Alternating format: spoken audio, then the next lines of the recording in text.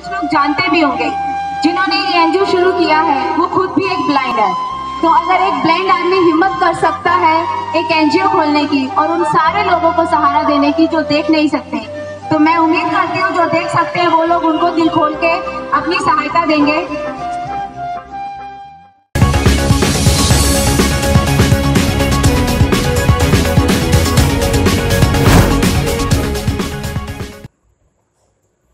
Progressive trust for the blind दृष्टि बाधित छात्रों ने अनूठे तरीके से किया सुंदरकांड भजन कीर्तन का धार्मिक अनुष्ठान। मेहरोली से progressive trust for the blind association अध्यक्ष देवेंद्र सिंह व प्रमोद कुमार द्वारा सुंदरकांड जैसे धार्मिक अनुष्ठान का भव्य आयोजन किया गया। दृष्टि बाधित छात्रों ने ब्रेल लिपि से सुंदरकांड पढ़ते हुए अपनी मधुर आवाज़ में भजन कीर्तन द्वारा सबको मंत्रमुक्त किया। इस आयोजन की मुख्य अतिथि के रूप में मेहरोली निगम पार्षद आरती सिंह यादव, जो कमेटी चेयरमैन है, आयोजन में शिरकत की। उन्होंने मीडिया समक्ष अति सुंदर तरीके से हुए। इस धार्मिक कार्यक्रम की भरपूर प्रशंसा करते हुए कहा, मेरे पास जब यह आमंत्रण आया तो मैं बहुत अचंभित थी कि दृष्टि बाधित सुंदर कांड का पाठ कैसे कर सकते हैं। लेकिन यहाँ आकर मैंने देखा ये दिव्य ज्योति पारदर्शी लोग अपने मन की अति सुंदर दृष्टि से हम आँखों वाले लोगों से कई गुना हज़ार, हर कार्य शैली में पूर्ण रूप से संपन्न व अग्रत हैं। हम सबका ये दायित्व बनता है, आर्थिक व कई तरीकों से इनका सहयोगी बनते हुए इन्हें पंगु, बेचारा, असहाय, अंधा, निर्बल, शब्दों से कमज़ोर ना करके इनको सबल बनाते हुए समानता अधिकार तहत राष्ट्र के हर कार्य में योगदान देने हेतु बनाए। यह हमारे समाज का अभिन्न अंग है। मुख्य अंग को अलग करके हम और हमारा देश कभी भी संपूर्ण रूप से विकसित तो क्या स्थायी रूप से खड़े भी नहीं हो सकते।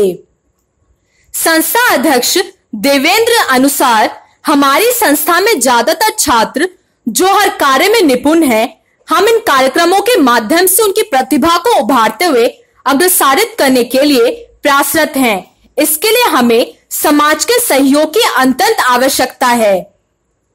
उपाध्यक्ष प्रमोद कुमार ने कहा, पिछले वर्ष अंत महाविद्यालय से छात्रों को अकारण ही दिल्ली सरकार द्वारा बाहर निकाल दिया गया था और हमारे दृष्टि बाधित छात्र रोड पर भटक रहे थे। तब हम इनको अपने ट्रस्ट में लेकर आए। लेकिन मेरी सरकार से यह मांग है, यदि वृद्धा आश्रम, अनाथ आश्रम बन सकते हैं तो दिव्यांग आश्रम क्यों नहीं बन सकता? ज़रूरी तो नहीं कि हर दृष्टि बाधित नौकरी करके पैरों पर खड़ा हो जाएगा। हम चाहते हैं दिल्ली सरकार दिव्यांग दृष्टि बाधितों के रहने की स्थायी व्यवस्था करते हुए इन आश्रमों में कई तरह के सेंटर खोलकर बेरोजगार दृष्टि बाधितों को स्वयं रोज़गार हेतु बनाते हुए असहाय से सहाय बनाए। उन्हें किसी न किसी माध्यम से आगे बढ़ाया जाए। इस धार्मिक अनुष्ठान का अंतिम चरण भंडारे के साथ संपन्न हुआ। विकलांगता कोई अभिशाप नहीं यह किसी भी इंसान को कभी भी, किसी भी उम्र में हो सकती है। शरीर में एक अंग की कमी होने से कोई इंसान कमज़ोर नहीं हो जाता। हेडलाइंस इंडिया टुडे से अनामिका झा के साथ अनीता गुलेरिया की रिपोर्ट। नमस्कार हेडलाइन इंडिया टुडे से रेखा आप सबका स्वागत कर रही है। जैसे कि आप ये सब देख सकते हैं, यहाँ पे सुंदरकांड हम सबके पीछे एक बड़ा प्यारा सुंदर कांड चल रहा है। ये उन्होंने आयोजन किया है, जो लोग देख नहीं सकते। मिस्टर प्रमोद कुमार और मिस्टर देवेंद्र सिंह, दोनों ने मिलकर ये सुंदरकांड का आज ये आयोजन रखा है और इसमें उन्होंने आरती सिंह और हमारे सारे सहयोगियों को बुलाया है। आप देख सकते हैं, हमारे पीछे सुंदरकांड का स्टेज लगा हुआ है। बहुत सारे लोगों ने इसमें भाग लिया है। तो हम सब इनकी कला को सलूट करते हुए, इनका धन्यवाद देते हुए हेडलाइंस इंडिया टुडे से इन सबको थैंक यू बोलते हैं और हम उम्मीद करते हैं, इनकी जो भी दुआएँ हैं, भगवान जल्दी पूरी करें। अब हमारे साथ प्रमोद जी हैं, जिन्होंने ये आयोजन रखा है। हम उनसे जानते हैं कुछ इनके इस प्रोग्राम के बारे में। प्रमोद जी, आपने ये प्रोग्राम जो रखा है, क्या सोच कर रखा आपने ये सुंदरकांड? ये मैम, सबसे पहले तो मैं यहाँ पे आए हुए सभी अतिथियों का बहुत आभारी हूँ, जो सबने हमें टाइम दिया यहाँ के काउंसलर ने। और हमारी अनीता मैम, जो आई यहाँ पर, और हमारा हमें अपना कीमती टाइम दिया। और हमारा जो उद्देश्य ये है कि हमारी संस्था progressive trust for the blind आने जो हमारे ब्लाइंड स्टूडेंट्स हैं, हमारे साथी हैं, उनको सबसे पहला हमारी जो, हमारे जो समस्या हैं, वो ये है कि हमने सबसे पहले हमें रहने को बहुत अच्छा मतलब यहाँ पे हम लोग किराए पे रह रहे हैं महरौली में। हम चाहते हैं, हम सरकार से ये मांग करते हैं और सभी से ये मांग करते हैं कि हमें अच्छा कुछ रहने को आवास मिले, जो कि सभी ब्लाइंडों को एक हॉस्टल टाइप में मिले, जैसे कि जिसका हमें किराया ना देना पड़े। और भी बहुत सारी समस्याएँ हैं पढ़ने लिखने के लिए, जो मटेरियल उपलब्ध हमें नहीं हो पाता है, वो भी हमें सरकार से अपेक्षा है कि हमारी मदद सरकार पूरी करेगी। और हमारा उद्देश्य ये है कि हमारा ये पहला प्रोग्राम है और पहला प्रोग्राम हम ये चाहते हैं कि हमारी संस्था काफ़ी अच्छी चले, आप सबके सहयोग से और हमारे ट्रस्ट को पूरी उम्मीद है कि सभी हमारी जो समस्याएँ हैं, वो उन पर पूरी गौर दी जाएगी।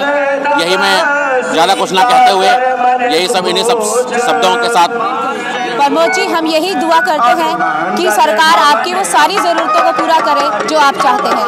आइए देवेंद्र सिंह जी से मिलते हैं। देवेंद्र जी, आप बताइए इस कार्यक्रम के बारे में। मैं चाहता हूँ हमारे लोगों सब लोग हमारा सहयोग करें संस्था का, हमारी संस्था बहुत मतलब बहुत अभी शुरुआत हमारी अभी। हम चाहते हैं हमारे सब सपोर्ट करें। मैं एक मेरी कोई नौकरी नहीं है मैं जितना होता है उतना मैं सहयोग करता हूँ संस्था का। और मैं चाहता हूँ लोग हमारे साथ सपोर्ट करे लड़के हमारे आगे बढ़े बस ये सोचे मेरी। और हमें कोई कमज़ोर ना समझे। देवेंद्र जी एक आखिरी सवाल। आपको ये इंस्पिरेशन कहाँ से मिली कि आपको अपना एनजीओ खोलना है? मैडम मैं इसी स्कूल में पढ़ता था जहाँ बड़े लड़के रहते थे तो ये लड़के जब वहाँ से हटाए गए थे तो मैं सोचा इन लोग इनके कुछ सोचा जाए। ये एक्सप्रेशन यहाँ से मिली कि हमारा एक हॉस्टल था अंध महाविद्यालय। वहाँ पर हॉस्टल चल रहा था और जो कि डोनेशन पे चल रहा था। तो किसी कारणवश उस हॉस्टल से सभी बच्चों को निकाल दिया गया।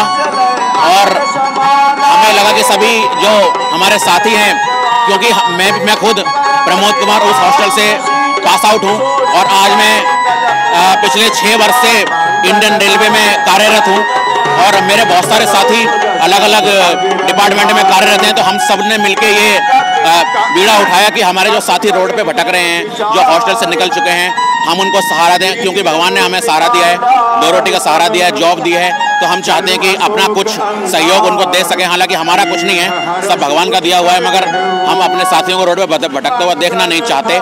इसलिए हमें लगा कि एक एनजीओ हमें ट्रस्ट खोलना चाहिए। सबसे पहले हमने एक ट्रस्ट बुराड़ी में खोला था, जो कि वहाँ का किराया कुछ ज़्यादा था और हमें बहुत दूर पड़ता था तो हम संस्था में ग्रोथ नहीं कर पा रहे थे। तो हमने फिर पहाड़गंज में शिफ्ट किया वहाँ से। फिर पहाड़गंज में किराया भी काफ़ी ज़्यादा लगा। तो वहाँ से भी हमने वहाँ से फिर हमने यहाँ शिफ्ट किया। हालाँकि किराया तो हमारे लिए दस हज़ार हो, पाँच हज़ार हो, सभी कोई भी किराया हो हमारे लिए बहुत कठिन है दे पाना, क्योंकि हम सभी को मिलकर ये सब करना है। इसलिए इसीलिए मैं सरकार से ये मांग करता हूँ कि सरकार हमारी जल्दी जल्दी समस्याओं को सुने और हमारे साथियों के लिए कुछ अच्छी ट्रेनिंग सेंटर्स कंप्यूटर सेंटर और रहने के लिए कोई छात्रावास खोले, जिसमें कि जो बच्चे पढ़ रहे हैं वो तो रहे ही नहीं। जो जिन बच्चों की पढ़ाई पूरी हो चुकी है, उनके लिए भी हम सरकार से मांग करते हैं कि उनके लिए भी सरकार अपने कदम उठाए और उनके लिए भी कुछ ऐसा खोले कि उनका टाइम टाइम व्यतीत हो जाए। और सभी लोग अपने, हमारी संस्था में जो रह रहे हैं, जो एग्ज़ाम परीक्षा की तैयारी भी कर रहे हैं और कुछों की नौकरी लग भी रही है और कुछ तैयारी प्रिपरेशन भी कर रहे हैं। तो यही सारी हमारी यही सारे हमारे उद्देश्य है हमारे ट्रस्ट के। हमें एक्सप्रेशन यहीं से मिली कि हमारे जो साथी हैं रोड पर ना भटके और हम ट्रस्ट एक खोलें जो कि जिनको हम आसरा और सहारा को दे सकें। बस यही सब कहना चाहते हैं हमारे साथ बने रहने के लिए बहुत बहुत धन्यवाद। जैसे कि प्रमोद जी ने और देवेंद्र जी ने कहा कि वो दोनों नेत्रहीन है और उसके बावजूद उन्होंने ये हिम्मत और जोश दिखाया एक अपना एनजीओ खोलने का। मैं पूरी उम्मीद करती हूँ कि हम सब मिलकर इनका साथ देंगे। जी आपका बहुत बहुत स्वागत है। बहुत बहुत धन्यवाद आपका।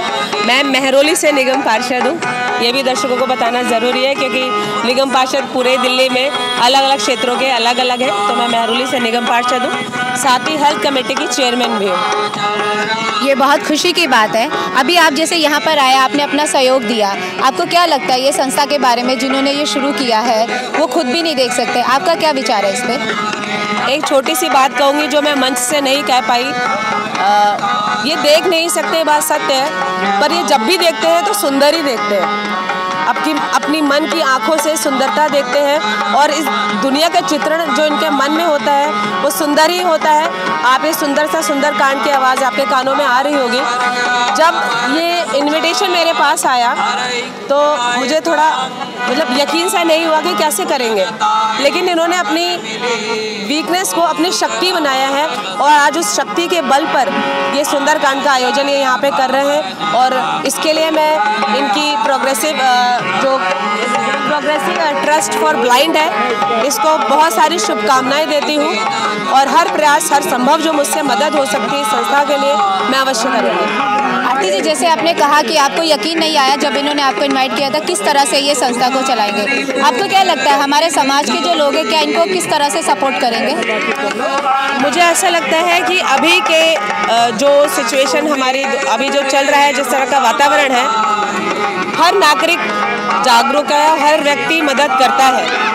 और ये स्वयं भी इतने सक्षम है कि ठीक है, एक सेंस काम नहीं कर रहा, लेकिन इनका सिक्स सेंस बहुत स्ट्रांग है और भगवान ने ऐसी शक्ति इनकी ऊर्जा भरी है कि इन्हें किसी की मदद की आवश्यकता नहीं। जैसा कि अभी आपने स्टेज पे देखा, ये स्वयं में सक्षम है। तो ये कमज़ोर नहीं है, इन्हें कमज़ोर ना समझिए, लेकिन हाँ हमसे हर संभव जो मदद हो सकती है मैं आपके माध्यम से जो लोग मुझे देख रहे हैं उनसे भी यही विनती करूँगी कि हमसे जो संभव मदद हो सकती है हमें इन लोगों की करनी चाहिए इनकी शक्ति बनना चाहिए इनकी शक्ति में हमें इनका साथ देना चाहिए। यहाँ असल में क्या है कि मेरे ये सब प्राय मेरे विद्यार्थी रहे हैं तो उनका ऐसा आयोजन है तो बहुत स्वाभाविक है कि मुझे तो अच्छा ही लगना है इसमें कोई संदेह नहीं आपके क्या क्या शौक है दिनेश?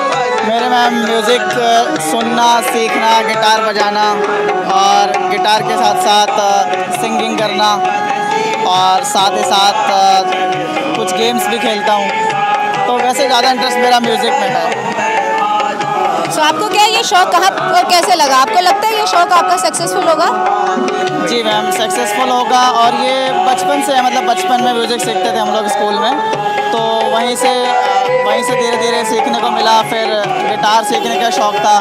तो अभी गिटार सीख रहा हूँ और अब छोटे छोटे प्रोग्राम करने के लिए एक अकेडमी है, वहाँ से प्रोग्राम करे जाते हैं।